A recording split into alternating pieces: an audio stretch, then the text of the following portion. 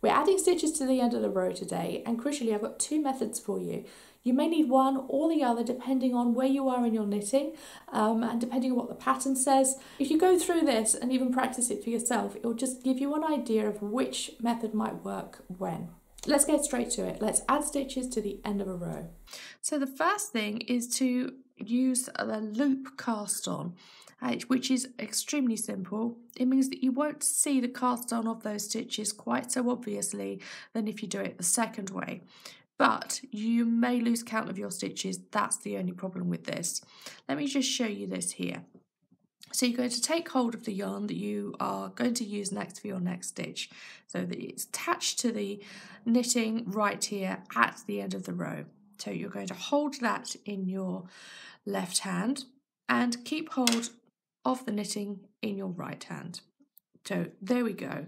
Now you're going to move your thumb underneath that yarn pull it up and the needle goes into the yarn at the end here. There. And you just hold on to that and keep it on the end of the needle. Do the same thing again. Thumb goes underneath that yarn and you pull the right hand needle into that stitch and you make that stitch. So we're going to make 10 stitches at the end here. So that's two already. Thumb goes underneath and the needle goes into that stitch. Thumb goes underneath and the needle goes into that stitch. That's four.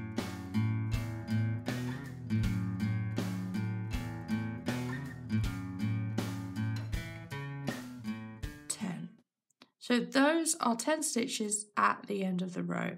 Let us knit those and I'll show you how you might just lose count of those stitches as you start knitting. So we lose, we start, we start knitting as you would normally. So let's start knitting into those stitches. So one, two, see that stitch almost came off the end of the needle, so be careful because it's only held by that single loop. Three, four, five. Keep your finger on the next stitch as you knit into the one that's at the end.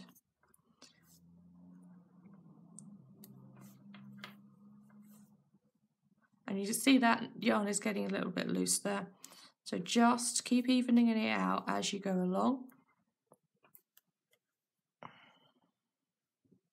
And this could be purling as well. It doesn't have to be a knit row, it could be a purl row. There we go. Have we kept them all? One, two, three, four, five, six, seven, eight, nine, ten. Yes, we have. So I will knit all the way to the end of this row and I will see you and we will add stitches to the end of that row. Okay, so if we're going to add stitches to the end of this row, let's say we add another 10, what we can do is the conventional cast on. And for that method, what we need to do is turn the knitting over. So the stitches are on the left hand needle as if we were casting on in the normal sense of casting on. The problem with casting on from here is that a lot of cast-ons, when you add the stitches to the right-hand needle, you need two threads of yarn. That means adding another thread of yarn here, which means weaving in ends, which means securing it, which means the stitches could end up loose.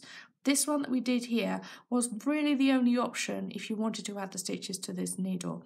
So what we're going to do is add them to the left-hand needle, which means turning it over. So now we're going to use the cable cast on method. So we put the right hand needle in between the previous two, the last two stitches on the needle here.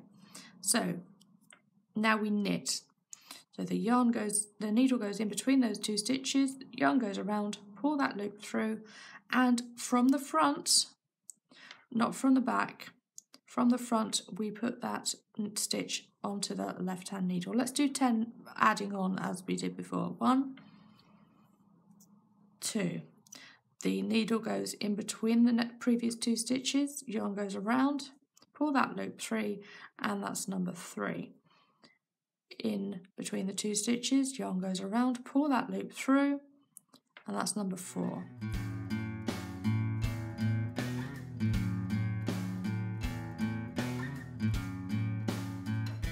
And 10. So what we have here is, that's the original knitting up until that point there, and then we have five stitches and five stitches I think. Yes, we do. Okay, so I'm going to knit these just like I did with the others. And you can see how it looks. I've just got those two sorted out at the end there. See how that looks. So both of those methods work. That one is slightly looser and we can not see much of the casting on, but here we can see very much that that is a very even, very obvious casting on along the edge there. So yeah, it doesn't matter which one you use, whichever works for you. Now, this is how you could um, knit up a cardigan or a jumper for a doll, if you like. Um, looks like a brilliant tunic, doesn't it? Like a little apron, even. So um, just knit some sleeves and then uh, repeat and sew them together and you're done. So, Great, you now know two methods on how to add stitches to the end of the row and one of them was adding stitches to the beginning of the row. That's how it felt and actually I prefer that option. I do that myself most usually especially if it includes a seam that I'll be sewing up so you won't see the uh, casting on there. If you'd like to find all of my jargon videos in one place, there's obviously the playlist here on YouTube, but I also have a download for you if you'd like that. It's a digital download.